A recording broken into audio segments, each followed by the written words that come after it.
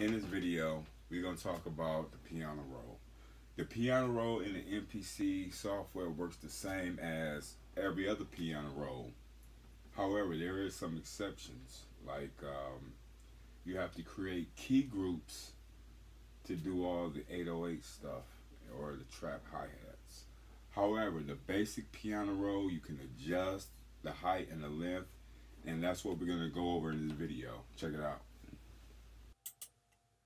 Alright, so look, in the piano roll, when you start your MPC software, by default, you'll probably get something like this with all this stuff around, with the pads and all that stuff. But in this video, I want to just focus on the piano roll because the piano roll is where all the MIDI information is. It's where you can do all your 808s and your slides and all your trap hi-hats. So, to get to the piano roll is nice, you know, it's right here. It's standard.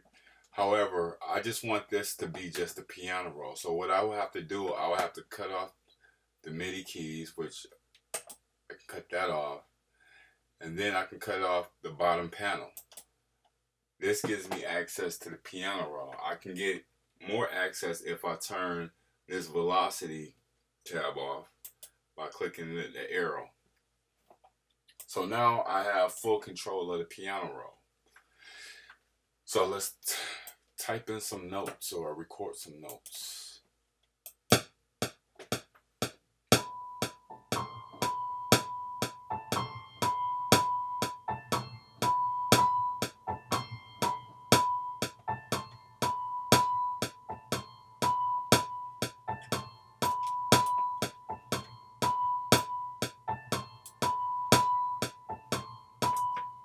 Okay, that's cool. I'm using my mouse to go up and to toggle up and down. You can also toggle up and down by doing this or pressing the arrows on your keyboard. Alright. Um, you can also stretch it out so you can have some room or some space. Let's do a full screen. So let's just say if I wanted to make this four bars right here, this right here at the end will expand longer. So I'm gonna go up there and I'm gonna go to double length, four bars. So when I adjust this, it should be longer.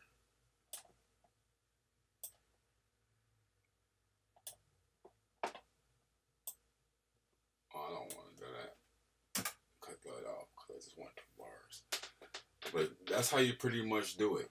You can adjust the piano roll by doing this, you know, grabbing the arrow at the bottom so you can have more on the screen.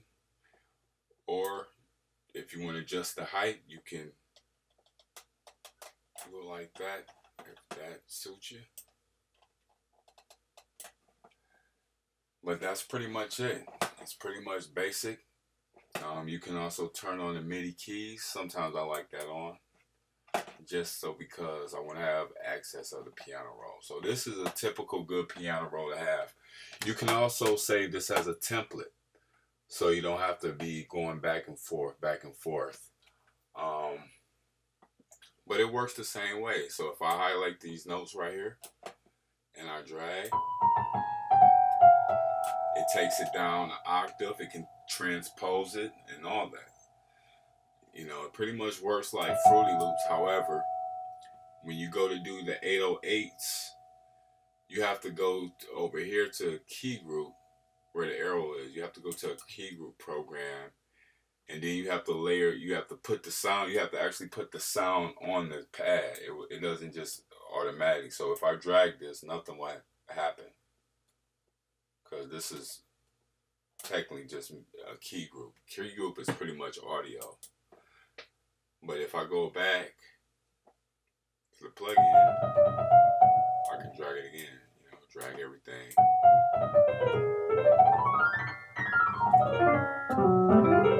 I can also copy it if I wanted to by holding, you know, uh, uh, option and hold over. It's pretty much just like Fruity Loops, pretty much. However, with Fruity Loops, you know, you can drag, you know, your 808s and your audio onto the piano roll with the MIDI. So if Akai, if you're listening, we MP, MPC users would love to have that feature, you know, because it really is, it doesn't make sense to just keep going back and forth to key group. And then you have to layer, you have to actually put the sound, layer the sound on the key group. And then you can use it as, you know, as you would a Fruity Loops or Ableton. So, this is pretty much how you do it. You know, you can adjust the you know the width and the length by clicking these arrows down here, and, and the height by clicking this arrow right here on the side. You can also toggle up and down by using your mouth or using the arrows on your keyboard. You know, that's pretty much the uh, basic of the piano roll. You know, if you want to cut these keys off, you just hit this bottom right here and cut it off. You know, bottom panel, you want the pads back, just do it like that. And that's pretty much how you do it. This is the basics. Hopefully we'll get some more features and some more updates because like I said, you know, it'd be good if we can have the piano roll act as a key group as well. You know, so if Akai, if you're listening, let's get that feature. Um, other than that, it's pretty simple as that. You know, like, share, and subscribe. Peace.